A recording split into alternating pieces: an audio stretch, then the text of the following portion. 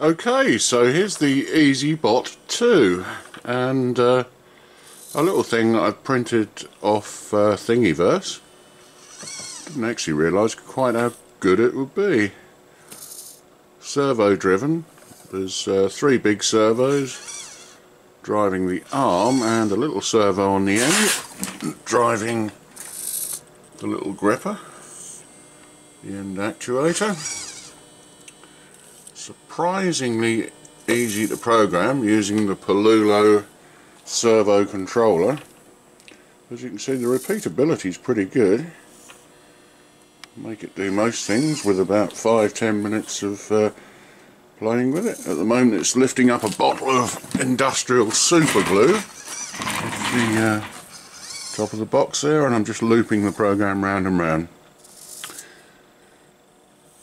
Nice bit of plastic work, ordinary servos in there, nothing more, they're not stepper motors or anything sophisticated like that. And I've got a Pololu, I'm not sure how you pronounce that, but Pololu uh, 12 channel controller, tiny little thing about the size of a matchbox, driving those four servos. So that's a nice little robot that.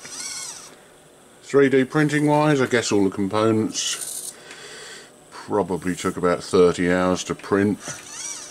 Quite a tricky print in a lot of ways as well but well worth it in the end as you can see. Let's just pan round her a little bit. Sorry for the man of the year. That was uh, my daughter bought me that but not pretending to be anything I'm not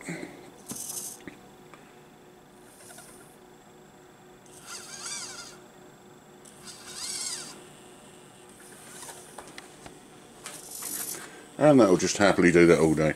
I've seen some demos on YouTube where people are picking up a ball and rolling it down a hill and then the robot picks it up at the bottom. I might try that myself a bit later but this was really just the first go. Nearly dropped it then. Um, this was really the first go and uh, the first time I actually tried to make it do anything useful. So precision wise it's within three or four millimeters on every pickup which isn't fantastic for a robot but the repeatability is pretty good. Like the gripper. Nice piece of work. The gripper let's see if we can get right in there on the gripper. There we are. It's got a series of little gear wheels underneath. Try not to hit it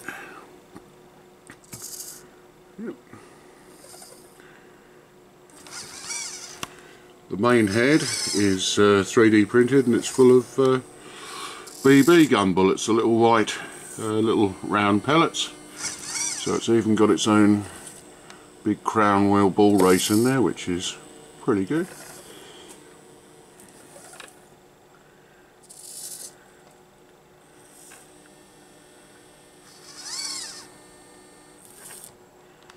So there we have it. Must be Sunday morning, mustn't it?